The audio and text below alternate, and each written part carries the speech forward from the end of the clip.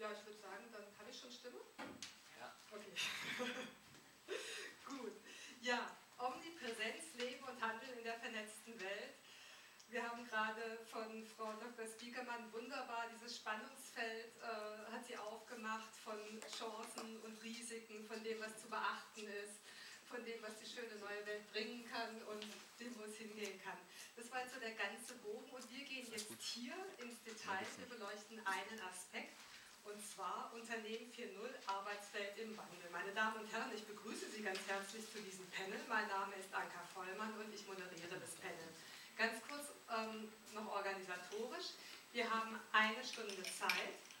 Ähm, wenn Sie Fragen haben, dann gibt es hier Mikros. Ich sehe gerade nur die Mikrostände, aber es gibt auch Mikrofone. Das, das Mikro ist aktiviert. Das geht, okay. Ich muss hier hinein.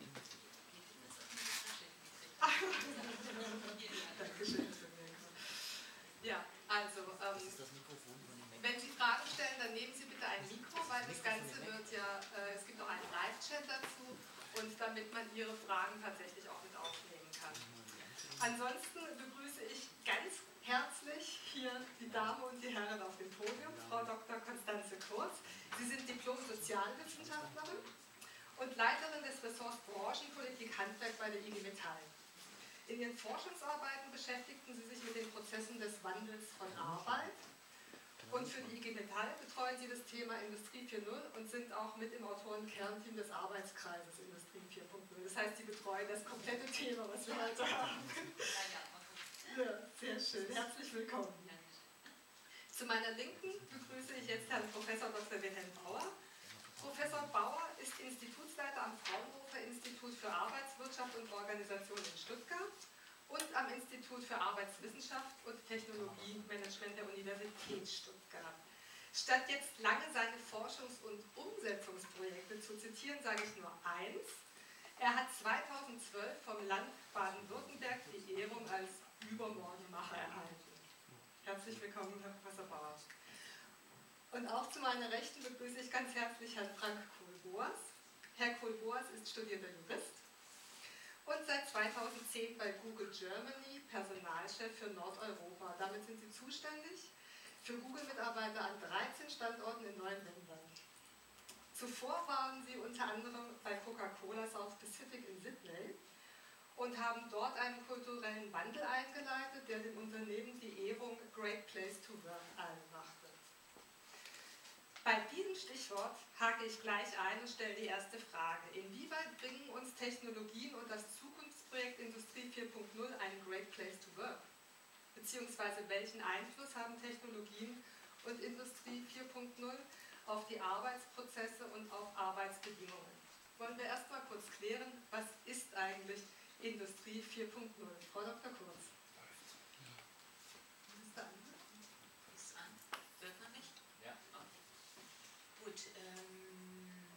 bewältigen. Ich bin jetzt gerade noch beeindruckt äh, von dem Vortrag von äh, Frau Spiekermann und ähm, habe äh, gedacht, also wenn sie diesen Vortrag hält, äh, sagen wir äh, in einem größeren Betrieb der Metall- und Elektroindustrie, vielleicht im Automobilbereich, ähm, dann würden die Ängste, die dort herrschen über Fragen der technologischen Entwicklung, zumindest im ersten Teil wahrscheinlich riesengroß geworden sein. Und ähm, als IG Metall sehen wir eine ganz wichtige Aufgabe darin, genau solche Ängste zu nehmen. Mhm. Und ähm, das sind jetzt zwei sehr unterschiedliche Diskurse, die wir hier haben. Also der Diskurs, den wir eben gehört haben, hat jetzt mit dem Diskurs, ähm, den wir als Gewerkschaft, als Industriegewerkschaft darüber führen, was machen Technologien mit der Arbeit, etwas zu tun. Ähm, er hat aber ähm, nicht immer und kann auch nicht immer haben eine Perspektive, die 20 Jahre oder 10 Jahre vorausschaut. Wir sind in real existierenden Arbeitsprozessen und in Arbeitsprozessen, die vielfach nicht technisiert sind. Das muss man sich einfach klar machen. Das Internet, das Internet der Dinge ist etwas, was natürlich heute auch als Rahmensteuerung durchaus schon eine Bedeutung hat, auch in industriellen Produktionsprozessen. In industriellen Arbeitsprozessen ist es aber keineswegs gang und gäbe. Und das Das wird die große Veränderung sein, die mit Industrie 4.0 kommt. Wir gehen von gewaltigen Veränderungsschüben aus, die in unseren Augen und nach dem, was wir abschätzen können, alle Qualifikationsgruppen betreffen. Also es gibt noch Angelernte, die mhm. arbeiten. Ähm, das sind in Bereichen von Großserien, also da, wo montiert wird, etwa in der Automobilindustrie, auch noch bedeutende Anteile der Beschäftigten. Wir gehen aber auch von Veränderungen für Facharbeit aus und auch für Ingenieure. Also ich glaube nicht, dass es so wie in früheren Phasen der Automatisierung ist, dass wir ganz klar sagen können, da sind Gewinner und da sind Verlierer von Automationsprozessen, sondern es wird eine ganz andere Form von allgegenwärtiger Betroffenheit liegen. Und die äh, wird, um das hier vielleicht nochmal aufzugreifen, ähm, sich bewegen, ja, zwischen Umschließung, Verschmelzung und Empowerment. Mhm. Ähm, wir verbinden äh, mit 4.0 erstmal eine positive Gestaltungsoption. Und diese positive Gestaltungsoption hat was damit zu tun, dass wir glauben, dass es möglich ist, Arbeitsorganisation so zu gestalten, dass tatsächlich die Menschen die Systeme lenken und nicht umgekehrt. Und uns geht es um die Frage, wie kann man jetzt eine kluge, eine intelligente Sozialorganisation bauen, in der die Prozesse von Kooperation, von kreativer Entwicklung, äh, aber durchaus auch die Entscheidung darüber, so, und jetzt ist das letzte Wort gefallen und jetzt haben wir das letzte Wort, wie man das interaktiv, kooperativ und eben auch in den Hierarchien, die wir derzeit dort haben, gestalten kann. Und das bedeutet, es wird sich insgesamt sehr viel ändern müssen, weil mit einer Arbeitsorganisation, wie sie heute noch vielfach etabliert ist, also sehr hierarchisch, äh, sehr von oben nach unten auch durchgesteuert, sehr kleinteilig in den Arbeitsvollzügen.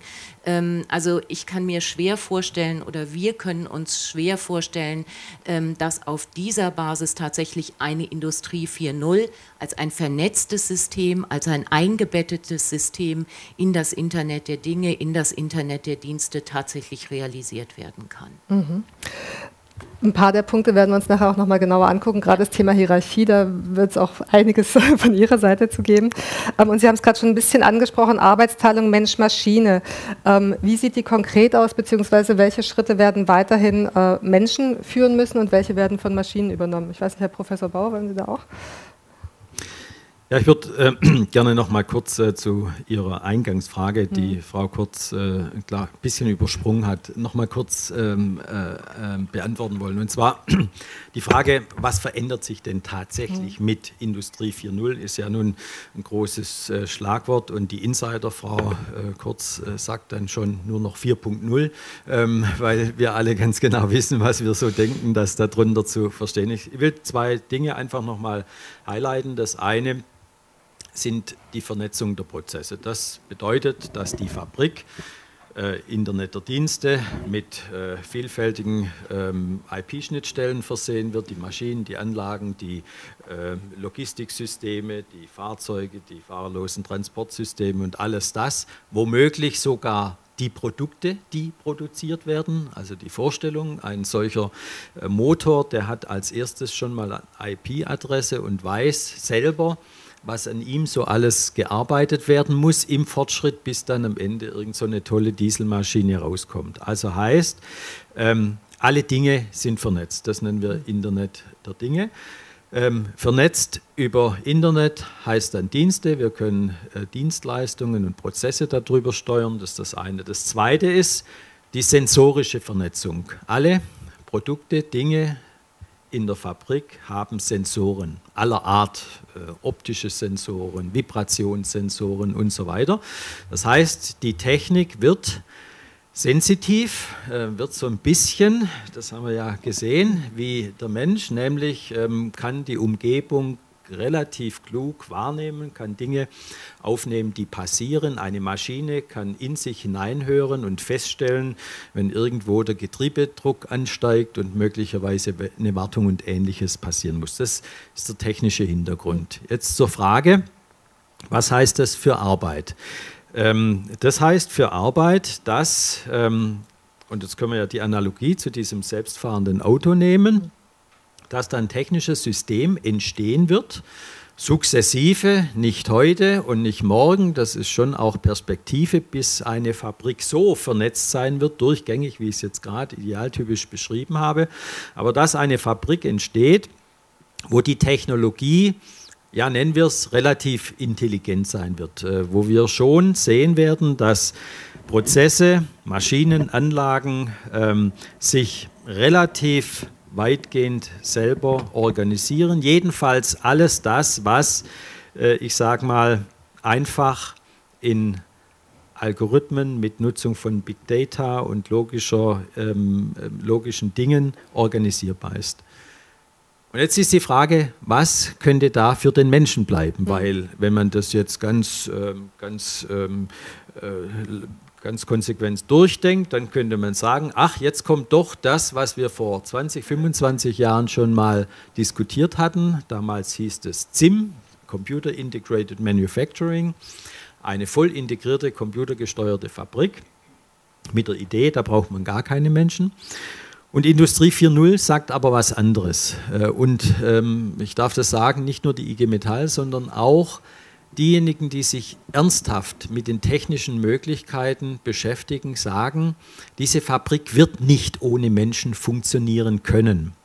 Weil in der Komplexität einer solchen Fabrik, nennen wir mal so eine Endmontage einer Automobilfabrik, werden so viele Entscheidungen zu fällen sein, die vermutlich nicht, jedenfalls nicht bald und auch nicht in der nächsten Zeit, vollständig durch eine Intelligenz im System äh, gefällt werden müssen. Das ist das eine. Also Steuerungsdinge, Entscheidungsdinge, Aushandlungsdinge, Abstimmungsdinge, Priorisierungsdinge, äh, Dinge, die etwas vielleicht auch mit der Fähigkeit nicht nur der menschlichen ähm, Kreativität, sondern Intuition zu tun haben, was wir so schnell vermutlich nicht äh, sauber modellieren können. Also das wird da sein. Heißt aber auch andererseits, dass vieles an heute noch manuellen Tätigkeiten vermutlich ersetzt werden kann. Und das sage ich als Arbeitswissenschaftler, das ist ja per se mal nicht schlecht, weil manche, nicht alle, aber manche, vielleicht auch viele der manuellen Tätigkeiten ja durchaus belastend sind, ja durchaus auch zu einer Beanspruchung führen und es ja eigentlich eine schöne Perspektive ist, dass wir auch in der Fabrik die Chance haben, interessantere, spannendere, mehr mit ähm, sag mal, menschlichen, kognitiven Fähigkeiten ähm, relevante Tätigkeiten in die Fabrik reinzubringen. Ein Beispiel, das hier gesagt wurde, das Thema Mensch-Roboter-Interaktion ist in der Fabrik ein sehr relevantes Thema. Wir haben heute eine Situation, da gibt es Roboterzellen, die sind schön eingehaust mit Sicherheitszäunen, dass ja kein Mensch in die Nähe kommt, weil das könnte gefährlich werden, wenn dann ein Roboter sich schnell bewegt. Und wir haben ja gesehen, wie schnell die sich inzwischen bewegen können, wenn es sein muss. Das ist eigentlich etwas, was wir ähm, ersetzen wollen. Zaun weg, Mensch-Roboter in eine Interaktion bringen.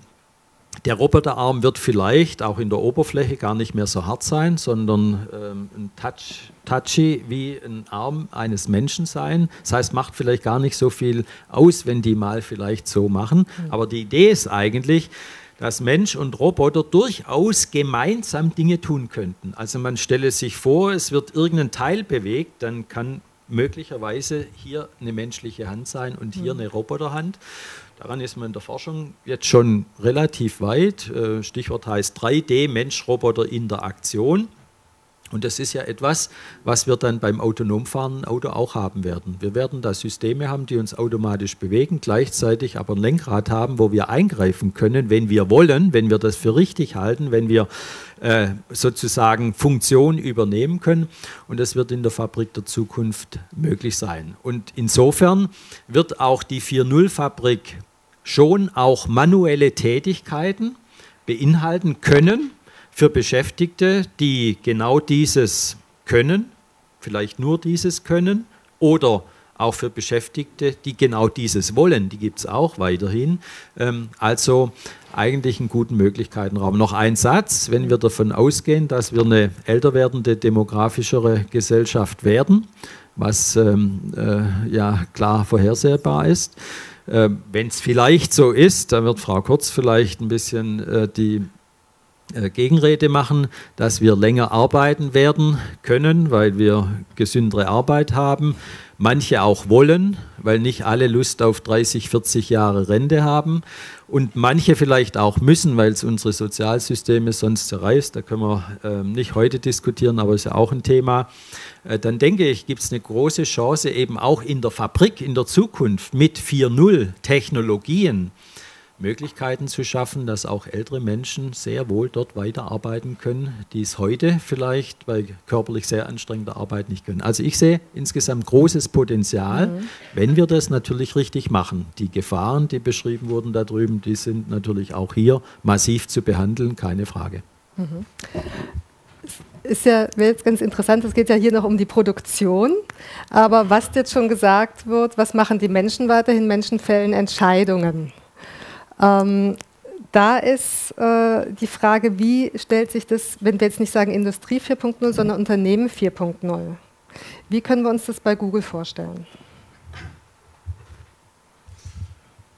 Wie können wir uns bei Google vorstellen? Also wir haben Mitarbeiter, denen wir auf Augenhöhe begegnen. Wir wollen jeden Tag, dass sie wiederkommen. Es ist nicht das klassische Arbeitsverhältnis, wo, wo der Arbeitnehmer dankbar sein muss, dass er genommen wurde. Wir haben Mitarbeiter, die sind hochqualifiziert und die finden auch woanders einen, eine Arbeit. Das heißt, man muss vielleicht als Grundverständnis voraussehen, dass wir eben auch, weil wir keine Geschichte haben von 100 Jahren in der Industriegesellschaft, auch auf einer ganz anderen Kultur aufsetzen. Unsere ersten 20 Mitarbeiter waren alle Stanford Graduates und die haben gesagt, so wie wir dieses leben, so wollen wir auch eine Unternehmenskultur gründen. Hm. Und das, denke ich, führt heute über Google hinaus dazu, dass, wir haben das ja eben gehört, ähm, im Zeitalter der vor allen Dingen der Beschleunigung, wo immer auch mehr Informationen immer schneller auf uns zukommen und das Internet dann die Welt äh, zu uns bringt, aber wir auch auf der Welt agieren müssen, nimmt Komplexität zu.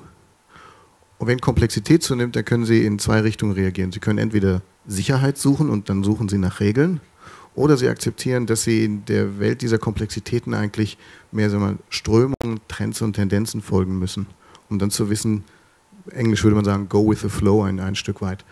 Unsere Führungskräfte nehmen mehrheitlich den Standpunkt des Letzteren ein und erkennen heute, dass sie nicht mehr alles wissen, also es geht weg vom Know-how, sondern vielmehr den Mitarbeitern, die wir haben, die erstens die Chance geben müssen zu sagen, wo wollen wir denn hin, welche Szenarien und Ideen gibt es, deswegen auch die, die Innovationskultur bei uns, um dann im richtigen Moment wieder die Führungsrolle einnehmen zu können und zu sagen, okay, von den fünf Vorschlägen, die wir jetzt gehört haben, ähm, nehmen wir die dritte.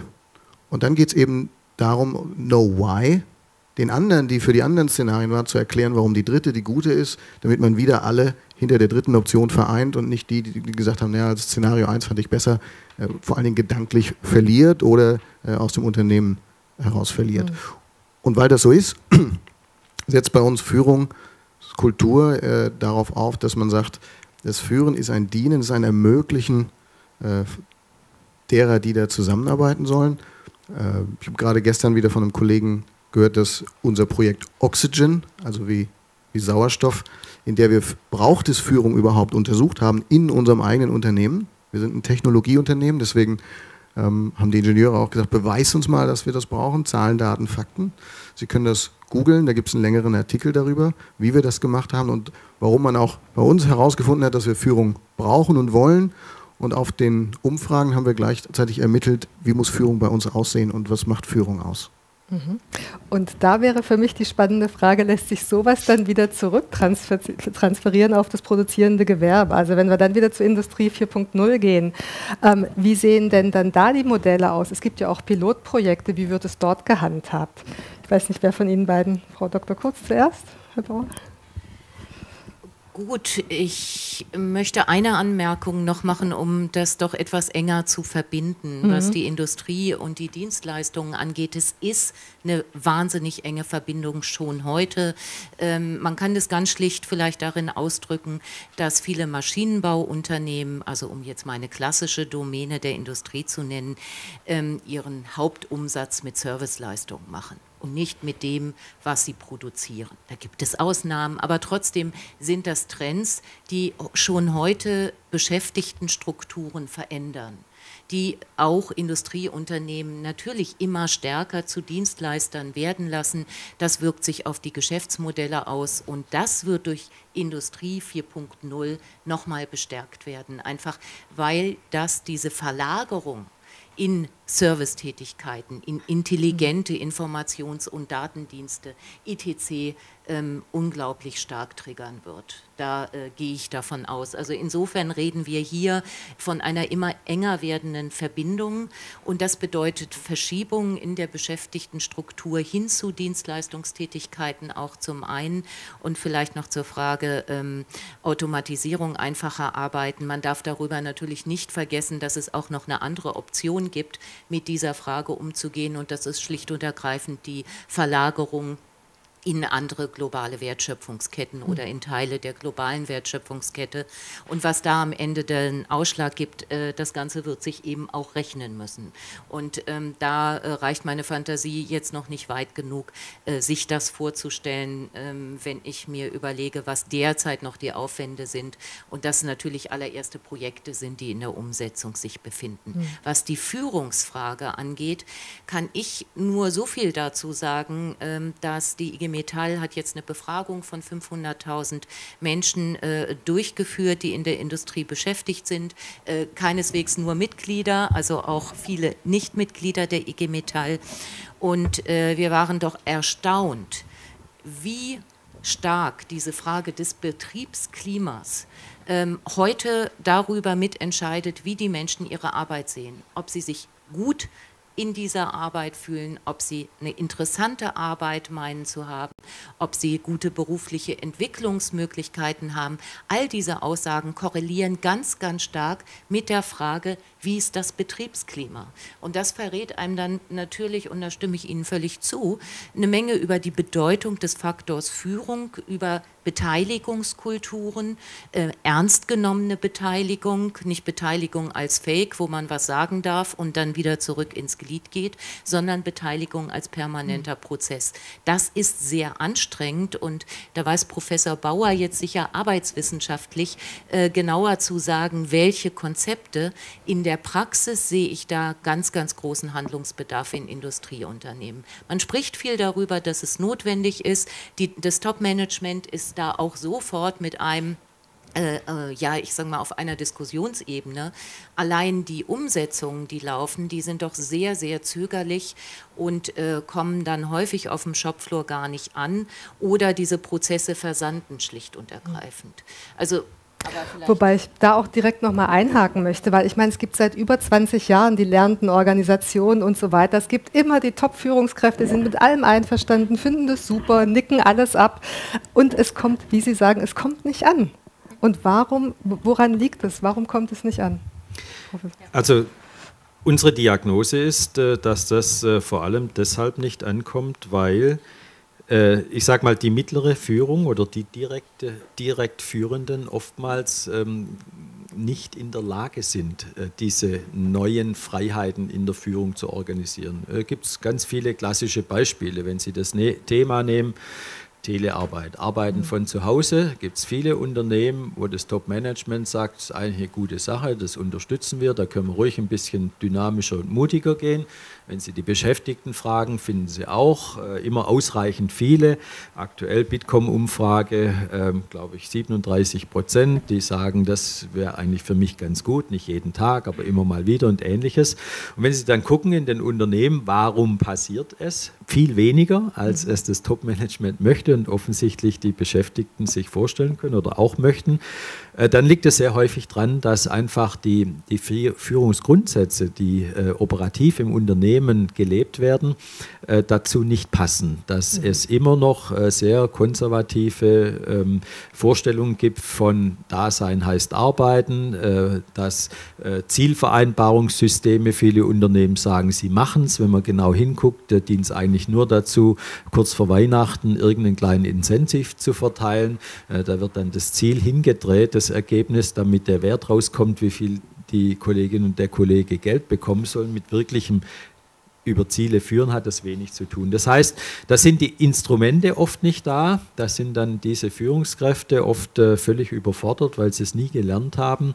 Äh, sie sollen remote führen und sind ausgerechnet im Unternehmen die, die als letztes äh, überhaupt äh, mit Technologie äh, affin geworden sind und das sind dann Hemmfaktoren, mhm. die wir einfach feststellen und das ähm, habe viele Projekte begleitet, wo es um solche ich sage mal, Flexibilisierungsthemen, jetzt gerade im äh, Dienstleistungsbereich, Büro, Flexible Office und ähnliches äh, gemacht. Und äh, der Key Enabler dafür ist Schulung der Direktführenden. Mhm. Äh, wenn die äh, vorangehen und wenn die sozusagen mit Flexibilität und mit Mobilität und mit Informationstechnik äh, verstehen, umzugehen, dann funktioniert es besser. Und das ist dann eben auch die Frage in der Fabrik in der Zukunft. Das ist ja angedeutet worden, auch von Frau Kurz. Wir denken schon, dass in so einer zukünftigen Fabrik selbstverständlich auch die Werker dann irgendwie, vielleicht sieht es nicht so aus, ein bisschen anders, aber äh, natürlich ähm, auch in dieses Internet der Dinge mit eingeklinkt sind, sprich auch mit einer IP-Adresse im Blaumann äh, rumspringen.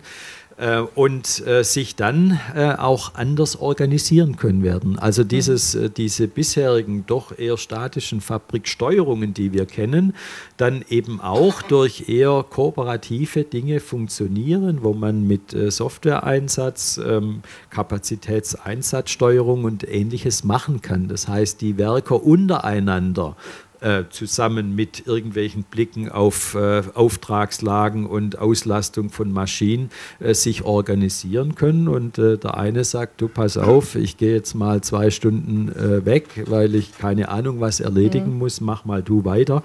Ähm, das wird dann funktionieren, weil da einfach neue Möglichkeiten der Flexibilität entstehen. Und das ist ja eigentlich was sehr Positives. Ich war vor gestern Abend in einer Diskussion in Sindelfingen mit 800 Leuten aus einem solchen solchen großen Werk, das mhm. gerade äh, angedeutet wurde.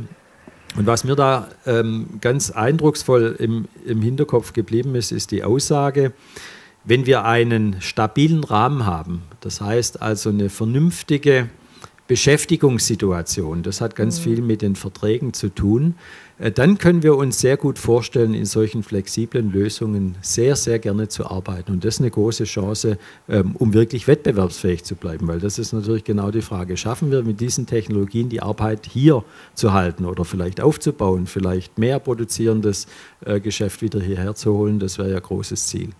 Wobei das natürlich sich da die Katze in den Schwanz beißt, wenn man sagt, äh, wenn man nach einem stabilen Rahmen sich den wünscht und wenn gleichzeitig dann das Unternehmen sagt, naja, wir müssen aber erstmal wirtschaftlich sicher sein, dann können wir euch auch den stabilen Rahmen liefern. Also das ist so ein bisschen, äh, also da, da dreht sich es einfach im Kreis. Ne? mutige Entscheidungen von Unternehmen. Genau, und da sind wir wieder bei dem Thema vorhin, Menschen fällen Entscheidungen. Also eine Frage ist sicherlich auch, das eine, was gerade auch mit Anklang ist, jeder sieht es dann so aus in Zukunft, dass jeder, der ähm, sich eine neue Arbeitsstelle sucht oder der beginnt zu arbeiten, erstmal Medienkompetenz richtig erlernen muss, wie sie aktuell ist, das wäre eine Frage. Und das nächste, ähm, dann eben auch, muss nicht, sich nicht die grundsätzliche Haltung ändern und wo kann das passieren? Und wenn wir das, ja, Herr Also, bin ich äh, passioniert zu dem Thema. Ich glaube, zum Thema Führung hat sich ja nicht wirklich was geändert. Es gab und es gibt immer Menschen, die sind fähiger, andere zu führen und andere, die sind das weniger. Und da gibt es den, die Organisationsstruktur des Unternehmens, die das zulässt oder nicht. Was sich geändert hat, ist, dass das Internet, und das ist bei vielen noch nicht angekommen, geschweige denn das Internet 4.0, das ist ja, es ist ja auch noch nicht das Internet 2.0 in den Unternehmen häufig angekommen. Ja, also mhm. das Hereinholen von Internetprozessen in das Unternehmen ist noch nicht da, deswegen ist über 4.0 zu sprechen schon, schon sehr äh, visionär vielleicht. Was wir vielleicht mehr als bisher wahrnehmen müssen als, als Bürger, als User, aber als auch Führende und Geführte ist, das Internet ist eben mehr als eine Technologie. Das kann man nicht in eine Abteilung delegieren. Da können Sie nicht sagen, und jetzt haben wir hier noch den, der macht irgendwas mit Online-Commerce. Heute findet der ganze Commerce im Online statt. Und, und deswegen ändert sich eben, und das hat ja Frau Spiekermann auch äh, sehr gut hervorgebracht, eben mehr als nur ein, eine Technologie. Und was bedeutet das, wenn ich das kurz skizzieren darf? Ähm, es bedeutet vor allen Dingen technologisch, ist das, das Internet und die Vernetzung eine Jedermann-Technologie. Das bedeutet für mich, dass wenn Sie heute noch Unternehmen haben, wo Sie sagen, es darf nur ab einer gewissen Führungsebene äh, ein, ein Smartphone gegeben, äh, vergeben werden und es ist kein, kein Werkzeug für jeden oder Sie haben keinen Laptop, wo Sie sich über eine Videokamera mit jedem im Unternehmen auch einwählen können, dann haben Sie schon das, das erste Element, nämlich Zugang und Verfügbarkeit, die das Netz ermöglicht, nicht bedient. Hm. Das zweite ist, technologisch ermöglicht das Internet eine nie dagewesene Effizienz. Und auch die müssen sie zulassen und wollen. Und da müssen sie auch eben anerkennen können, dass es vielleicht effizient ist, wenn ähm, Mitarbeiter eben nicht zwingend erst ins Büro kommen. Denn immer mehr Leute werden ja nicht nur im Büro anfangen zu denken oder zu handeln oder motiviert zu sein. Dann kommt dazu, das Soziale ermöglicht das Netz einem nie dagewesenen Ausmaß Dialog und Zusammenarbeit. Da müssen wir natürlich fragen, arbeiten Sie dann noch mit einer PowerPoint, die dann in der Version 1.3.1 zu irgendeinem Kollegen geschickt wird, der das dann wieder sehen darf, aber der andere darf es nicht sehen? Oder gehen Sie, äh, Stichwort Cloud Computing, in ein Netz und sagen, ich gebe fünf Leuten Editierungsrechte und fünf weiteren Sichtrechte? Und Sie kriegen ein neues Level an Transparenz. Sie haben das sehr schon gesagt, Lernkultur. Das funktioniert ja nur, wenn tatsächlich alle Lehrende und auch Lernende sind und nicht äh, den, den Total Plant Maintenance oder den Ideenofficer im Werk ist, der immer wieder alles versuchen soll zu koordinieren. Also wie weit lässt ein Unternehmen, und damit meine ich auch die Führungsspitze, nicht nur de, den Meister oder den Abteilungsleiter, diesen Dialog und diese Zusammenarbeit, die immer mehr horizontal erfolgen muss und ungesteuert, nicht nur wenn ich das zulasse und nicht nur im dritten Stock, wenn der Raum mit dem Tandberg-Projektor äh, frei ist, gesetzt den Fall, das darf jeder nutzen, sondern zu jeder Zeit und an jedem Ort klicke ich mich in meinen Laptop und spreche mit meinem Kollegen in Malaysia oder in, in New York oder in der fünften Etage oder am anderen Standort.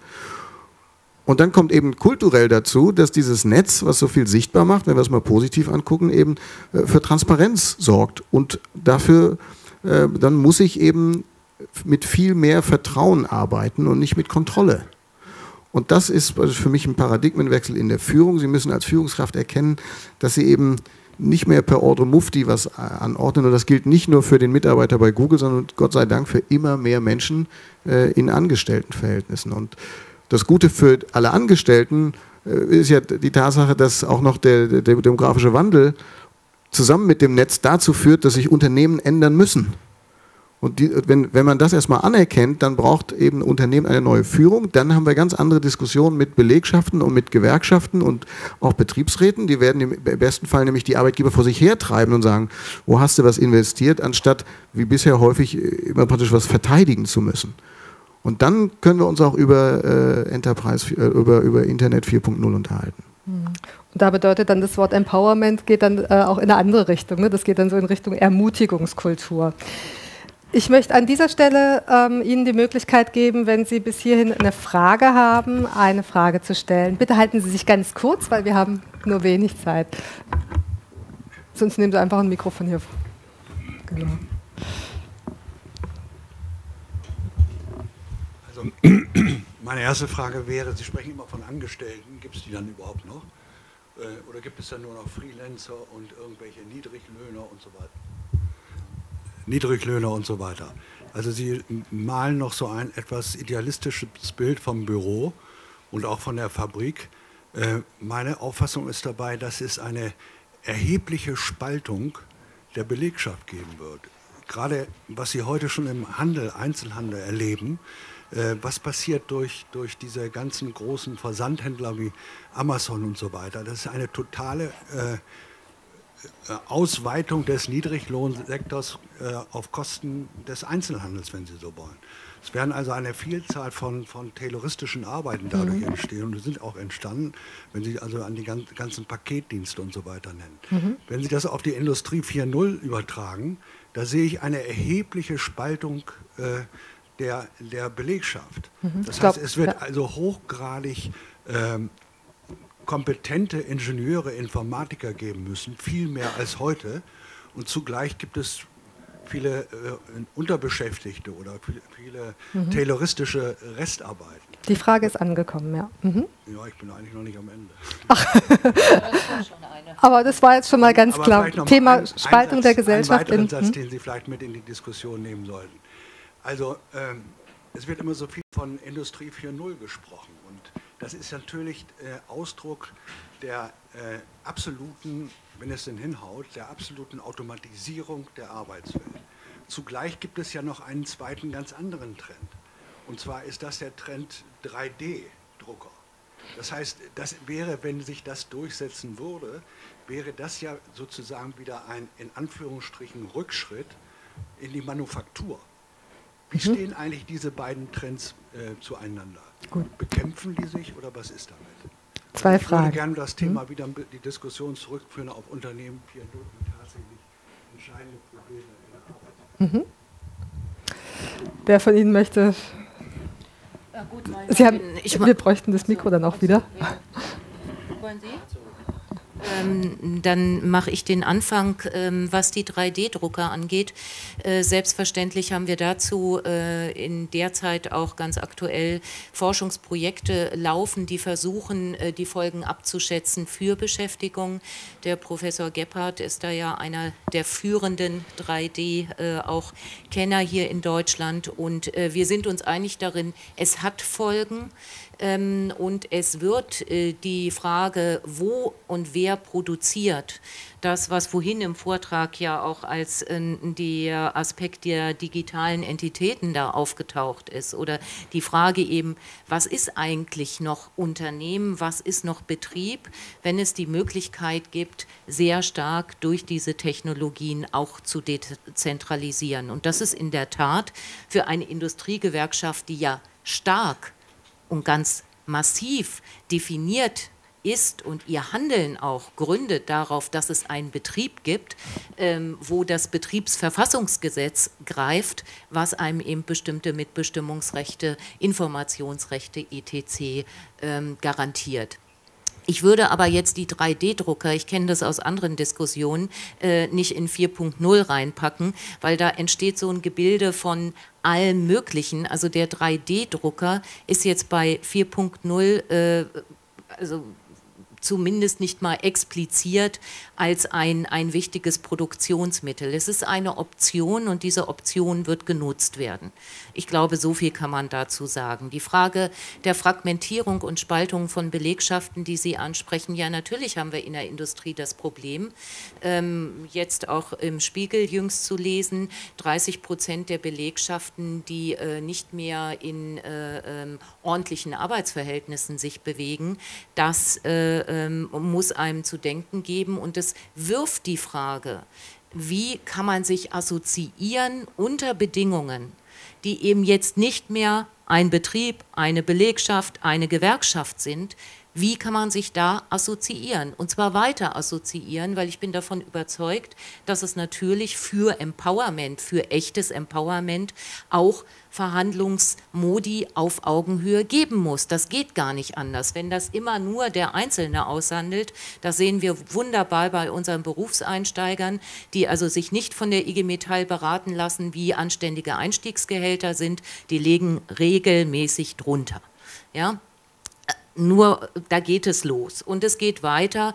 Und äh, wie gesagt, wenn wir jetzt Fragen wie informationelle Selbstbestimmung etwa äh, klären wollen, äh, äh, agieren wollen, und zwar auch wieder hier im Sinne des Empowerments, dann wird es Kollektivität geben müssen, aber vielleicht nicht mehr in der Sindelfingerform, Große Halle, 900 Beschäftigte, der Bezirksleiter spricht, Herr Professor Bauer spricht. Und wir diskutieren alle in diesem Raum, sondern möglicherweise machen wir das dann über andere Mittel in anderen Formen. Aber das heißt noch lange nicht.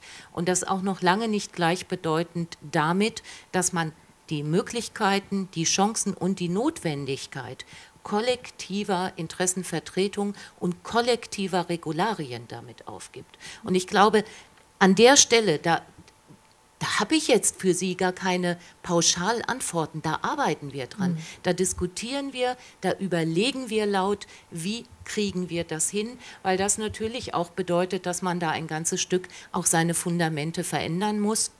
Wir haben bei den Leiharbeitnehmern angefangen, bei den Werkverträglern wissen wir ganz genau, da gibt es auch nicht die Mehrheit, aber es gibt auch eine kleinere Gruppe, die das sehr in Ordnung findet, zu diesen Konditionen zu arbeiten. Das müssen wir auch sehen, die Hochqualifizierten sind das. Ähm, das kann man also nicht alles über einen Kamm scheren. Und wie gesagt, mit den digitalen Techniken, mit der Vernetzung, ich würde es mal eher sagen, der Einbettung von klassischen Produktionsprozessen in die Welt des Internet werden diese Fragen, wie organisieren wir Beteiligung, wie organisieren wir Mitbestimmung, sich für uns als eine neue Herausforderung stellen. Aber den einen oder anderen Chat haben wir schon heute, die eine oder andere Wiki-Plattform sind wir dabei zu installieren. Also wir bemühen uns auch da, die Möglichkeiten, die es gibt, ähm, positiv zu nutzen. Auch im Sinne, da mehr Menschen mit zu erreichen, auch andere Gruppen, als eine Industriegewerkschaft klassischerweise äh, äh, erreicht. Denn ich meine, sonst müssen wir so, wenn man sich die demografische Kurve angehen, ja irgendwann alle miteinander in Rente gehen und dann können sie die Industrie zumachen. Also ich glaube, da ist doch eine ganze Menge mehr Bewegung drin, als man jetzt vielleicht auf den ersten Blick vermutet oder äh, äh als man uns ansieht. Mhm. Herr Professor Bauer. Also gerade auch nochmal vielleicht speziell mit dem Schwerpunkt auch, welche, was müssen eigentlich dann die Führungskräfte leisten, um eben genau solche Mitarbeiter zusammenzuhalten auch. Ne? Auf der einen Seite eben äh, die einen noch zu motivieren zu bleiben, die, äh, die gut sind, die man gerne halten möchte und auf der anderen Seite aber auch diejenigen, die, ja, wie gesagt, mit diesen Unterschieden auch umzugehen. Ist da überhaupt noch ein sozialer Friede auch innerhalb des Unternehmens möglich? Aber das ist vielleicht schon zu weit gegriffen. Also Führungskräfte, Sie haben, glaube ich, den Begriff schon äh, benutzt. Äh, was müssen die tun, um äh, die Mitarbeiter bei Laune zu halten? Also sie mhm. müssen sicherlich sehr viel mehr motivieren, moderieren, kommunizieren. Äh, Führungsarbeit wird immer mehr Kommunikationsarbeit sein. Und wie das stattfindet, ob das in Meetings, Schurfixen, Montagmorgen-Meetings oder ob das virtuell, digital im Netz stattfindet, ist in Wahrheit gar kein großer Unterschied. Ähm, ich sehe nicht die Gefahr, dass da alles auseinanderfällt. Äh, wir haben ähm, in der Diskussion über Arbeiten auch von zu Hause ja auch äh, retardierende Momente. Da gibt es die schönen Beispiele von Yahoo und Ähnlichem, die sagen, äh, lasst uns nicht übertreiben. Das Zusammensein hat auch einen Wert, das bindet, das schafft gemeinsame, gemeinsames Verständnis zum Unternehmen und Ähnlichem. Ich will noch einen Satz sagen zu Ihrer Frage. Ähm, wenn das, was wir jetzt in den letzten, sagen wir, 20 Jahren oder 30 seit der Einführung des allerersten PCs. Ich habe den allerersten erlebt bei uns am Institut, als ich noch Student war mal. Ähm, was da passiert ist. Äh, wir haben heute in, in den Büros, nennen wir mal äh, den Bereich als Beispiel nochmal, äh, doch in der großen Summe eher anspruchsvolle Tätigkeiten. Äh, ich war vor kurzem bei einer Organisatorentagung, da hat einer gesagt, Herr Bauer, der Begriff Sachbearbeiter ist eigentlich fast heute ein Schimpfwort. Äh, das haben wir nicht mehr wirklich so viele in den Banken, in den Versicherungen, in den Entwicklungsabteilungen, in den Vertriebsabteilungen. Es sind eigentlich sehr anspruchsvolle Tätigkeiten, die ganz viel ähm, Intuition, Kreativität, Prozess-Know-how und ähnliches ähm, bedürfen und diese banalen Sachen bearbeiten, haben wir nicht mehr so viel. Was ich sagen möchte ist, wir haben mehr Beschäftigung dort erreicht. Äh, da gibt es viel mehr Menschen als vor 30 Jahr, Jahren, die in diesen Bereichen tätig sind.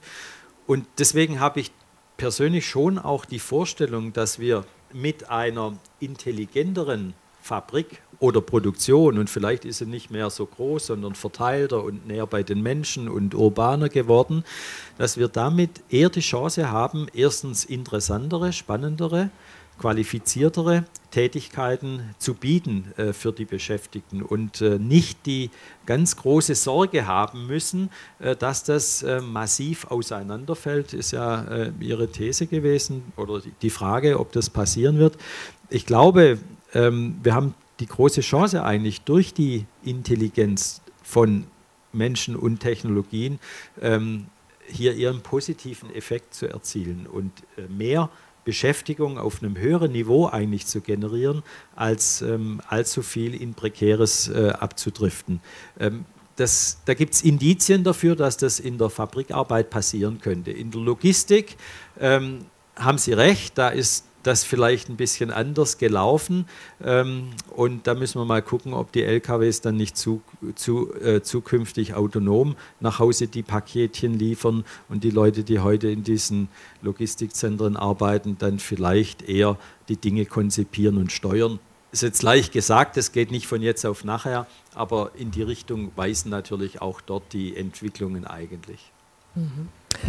Herr Kolboas, genau. Ja, wenn ich das noch kurz ergänzen dürfte. Sie haben gefragt, gibt es dann noch Unternehmen und Stammbelegschaften? Davon bin ich überzeugt, denn immer mehr Unternehmen wissen, dass es nicht um das Capital geht oder den, den, das, die Marke, die man hat, sondern um den, das Intellectual Property, was die Belegschaft ist. Und sie brauchen nach wie vor ein Unternehmen, wo sie den Markt ausschalten können, wo sie nicht für jede Dienstleistung im Unternehmen erst Verträge und Ausschreibungen brauchen. Zweiter Punkt, und das finde ich auch gut, dass auch Sie das angesprochen haben, erlebe ich, wir hatten hier ein, äh, vor zwei Jahren ein Start-up in Berlin gekauft, ähm, ein, ein Teil der Belegschaft, der, die sagen, ich bin in einem Start-up oder ich bin in einem hochvolatilen Umfeld, ich weiß gar nicht, äh, ob, ob wir als Unternehmen noch in fünf, in zehn Jahren so bestehen. Und ob meine Altersversorgung in der, mit der, in die gesetzliche, die ich als Angestellter einzahlen muss, ob die dann noch was wert ist, weiß ich auch nicht. Pardon. Diese Leute, und das werden tendenziell gleichbleibend oder mehr Menschen, werden sagen, ich bin doch lieber mein eigener Freelancer. Und dann zahlt ihr mir nicht 100, sondern 120 und mit den 20 kümmere ich mich um Altersversorgung selber und Telefon und Auto setze ich auch noch ab. Also da müssen wir auch fragen, was wollen wir denn in der Gesellschaft dann den Angestellten bieten und müssen wir nicht auch, Sie haben das eingangs angesprochen, in unseren Strukturen, die zum Beispiel der Alterssicherung dienen, neue Wege angehen. Da tun wir nämlich gar nichts. Und dann haben Sie gesagt, ja, äh, Prekarisierung, Amazon. Ich finde es einerseits immer äh, erstaunlich, wie wir Deutschen uns für das Öko-Ei engagieren können, aber andererseits nicht, für dann zum Beispiel äh, dafür bereit sind, mehr zu zahlen, wenn es um die anständige Arbeit geht. Wir alle können jeden Tag entscheiden, wo wir kaufen. Und als Unternehmer müssen sie effizient sein oder am Markt zu bestehen. Also kann ich nicht Amazon den Vorwurf machen.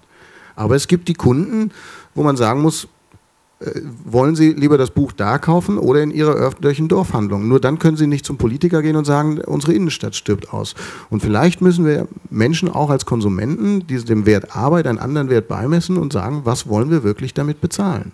Und dann wird der Markt sicherlich in die Richtung kommen, dass die ordentlichen Unternehmer, die ehrbaren Kaufleute, die Menschen, die einfach ihre Arbeitnehmer mit Respekt behandeln, äh, auch die sind, die die Kundenloyalität halten und Kunden hinzugewinnen. Das wäre jedenfalls äh, mein Wunsch und vielleicht liege ich damit gar nicht so weit ab vom Schuss.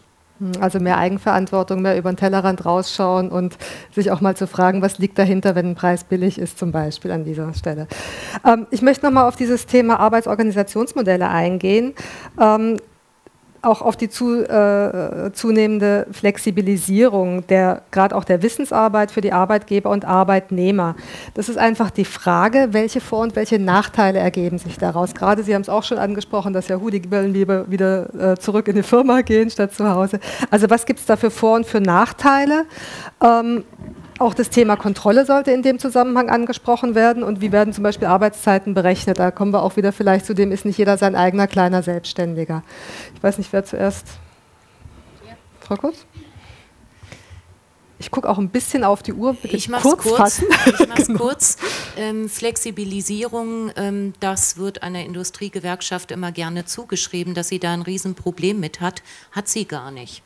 Hm. Ähm, 78 Prozent der Beschäftigten in dieser Befragung haben gesagt, ja, wir kommen mit Flexibilität, sei es in Bezug auf Orte, sei es in Bezug auf Arbeitszeiten, kommen wir gut klar unter einer Voraussetzung unter der Voraussetzung, dass wir ein gewisses Maß an Planbarkeit hm. haben.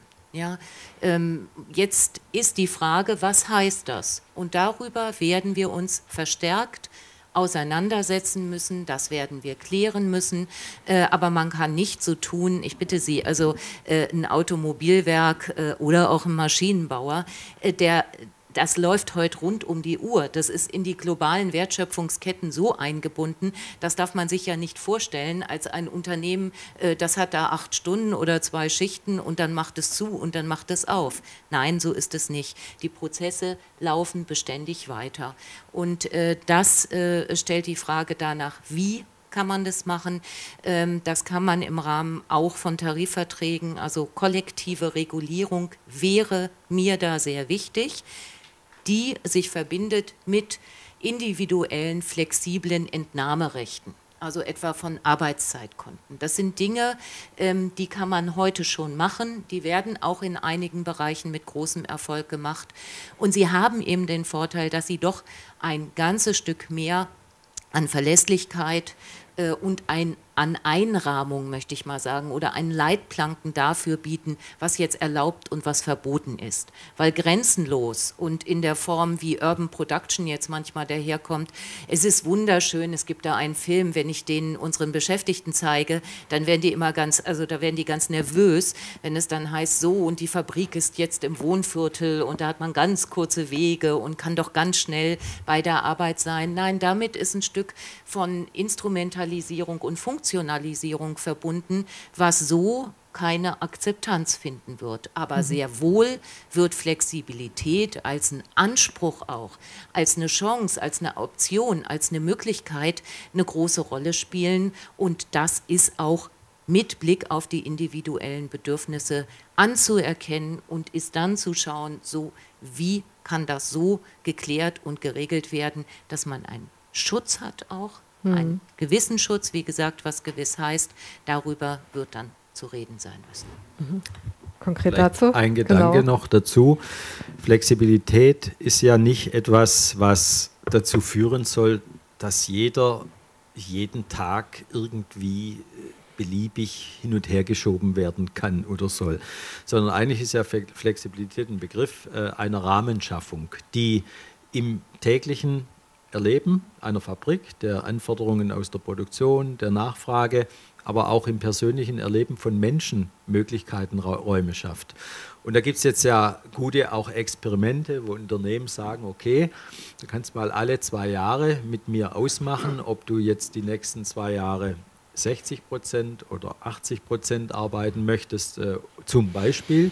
Ähm, mhm. Und das ist ja eigentlich ideal, dass man sagt, da gibt es einen Rahmen, da muss ja auch eine gewisse Verlässlichkeit auf beiden Seiten da sein und innerhalb dieses Rahmens kannst du nun agieren. Und das ist gut für Menschen, weil sie Work-Life-Balance besser organisieren können, weil sie sich vielleicht besser um Kinder und Angehörige äh, bemühen können oder um eigene andere Interessen und natürlich auch fürs Unternehmen, das ja in einem, in einem Markt äh, agiert, wo die Nachfrage schwankt und ähnliches, das wird ja nicht weniger, sondern eher mehr. Also ähm, ich denke, da, da liegt eine große Chance drin, wenn wir Rahmen setzen und schaffen. Wir können natürlich nicht leben nach dem Motto, jeder macht gerade, was er will. Das wird auch nicht mal bei Google gehen, da bin ich ganz sicher, sondern schon gut organisiert, gut geführt. Ähm, und das heißt, ähm, Rahmen ausdiskutieren, verhandeln, vereinbaren und dann innerhalb dieser Rahmen agieren. Und wenn da IT noch ein bisschen helfen kann, diesen Rahmen dann zu nutzen, intelligent und schnell, dann ist das eigentlich äh, genau das Bild, das wir für die Zukunft gestalten müssen. Und das heißt nicht, jeder sitzt nur noch zu Hause. Yahoo sagt man, hat es deswegen zurückgenommen, weil die nur noch am Strand lagen. Und das war nicht das Problem. Aber die haben dann Apps für andere programmiert, nicht mehr für Yahoo. Und dann geht es halt nicht so richtig ja. gut. Klar. Ähm, da sind wir auch, Sie haben ein Stichwort gerade noch genannt, Work-Life-Balance. Es wird ja jetzt heute oft über Work-Life-Integration gesprochen. Ist denn tatsächlich die Abgrenzung zwischen Privatsphäre und beruflichem Engagement, ist die jetzt passé? Vielleicht auch gerade bei Google. Da kann ich wahrscheinlich nur für, für uns sprechen, aber vielleicht auch immer für immer mehr. Idealerweise möchte man ja eine, eine, eine, eine Purpose in seiner Tätigkeit, also eine Bedeutung. Man möchte Autonomie und man möchte wahrscheinlich die, die Mastery, also das, was man macht, sehr gut machen. Und äh, wenn, wenn das zusammenkommt, dann würde ich denken, dass man eben nicht aufsteht und denkt, wie viel verdiene ich heute und, und verlasse ich jetzt einen privaten Bereich in einen Arbeitsbereich, sondern ähm, man, bewegt, man bewegt sich gerade als Wissensmitarbeiter im Zeitalter des, des Internet eher orts- und zeitunabhängig. Es mag ja sein, dass ich jetzt nach dieser Veranstaltung sage, also jetzt mache ich noch Weihnachtseinkäufe, dann muss ich vielleicht äh, dafür am Samstag noch die Präsentation zu Ende machen, die ich am Montag halten soll. Das heißt, ich weiß nicht, ob es, vielleicht wir sagen, dass es für viele von uns heute so ist, aber wenn sie Handwerker sind oder Landwirt oder, also es gibt doch schon viele Menschen, für die das, diese Trennschärfe schon gar nicht mehr existiert. Und ich, ich hoffe, sie verschwimmt immer mehr im positiven Sinne, dass Menschen sich nicht fühlen, als würden sie praktisch Zeit in der Arbeit verlieren, sondern genau darin auch Befriedigung und, und Freude und Erfolg finden. Und dann ist das vielleicht gar kein Gegensatzpaar, sondern ein tatsächlich sich ergänzendes. Mhm. Ja, egal jetzt ob Work-Life-Balance oder Work-Life-Integration, Pausen sind in beiden Fällen ganz wichtig. Und bevor wir jetzt gleich in die äh, halbstündige Mittagspause gehen, lassen Sie es nochmal ganz kurz und knapp zusammenfassen. Unternehmen 4.0 Arbeitswelt im Wandel. Was sind die drei größten Risiken und was sind die drei größten Chancen? Wollen Sie beginnen? Die drei größten Risiken sind, dass wir ähm, angelernte oder äh, mittelqualifizierte Beschäftigte nicht mitnehmen können. Ähm, dass äh, wir tatsächlich so etwas wie äh, doch massiveren Beschäftigungsabbau bekommen. Und äh, das dritte nicht kleine Risiko würde ich darin sehen, äh, was ist, wenn wir es nicht schaffen, für diese Tendenzen der ähm, ja, Auflösung des betrieblichen Sozialgefüges andere veränderte Sozialgefüge auch äh, zu, ja, hinzubekommen, uns zu assoziieren. Mhm. Äh, von den Chancen äh, ganz klar Perspektive interessantere Arbeit, fachlich anspruchsvollere Arbeit, äh, große, große Chancen auf Lernen, Lernen im Prozess der Arbeit, meine große Hoffnung ist, was dann auch für die nicht so mit Qualifikationen gesegneten ja möglicherweise auch neue Optionen liefert, als wenn sie sich jetzt in Seminar drei Tage setzen müssen und da toll was lernen.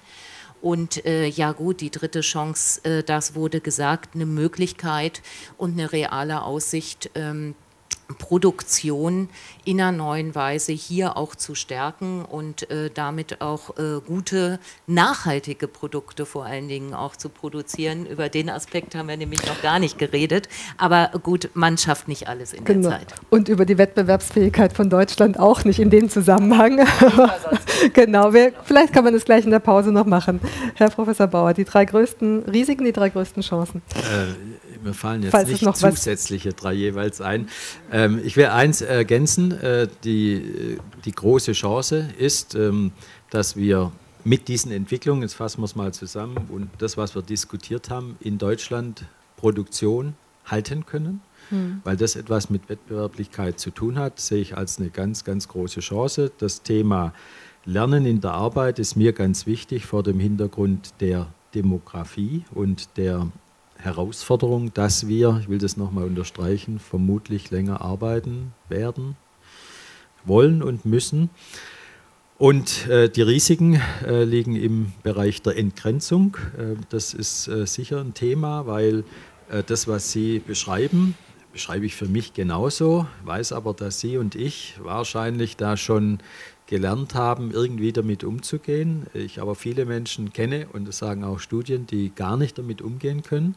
Also wir müssen eine Kultur schaffen. Ähm, das hat viel mit Führung zu tun.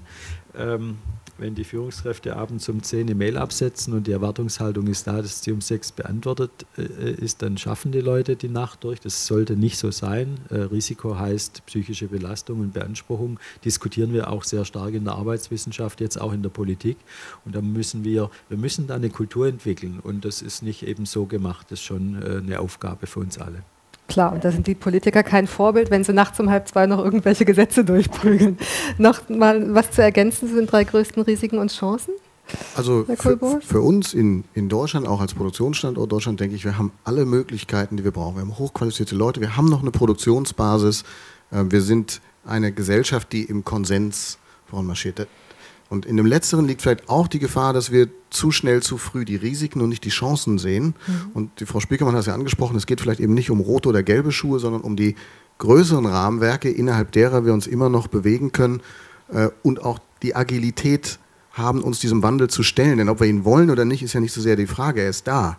Und die ganzen Beispiele, die wir da gesehen haben, kommen aus amerikanischen Unternehmen ich würde denken, von, von, der, von der Bildungsinfrastruktur, von unseren Ingenieuren müssten wir eigentlich mithalten können.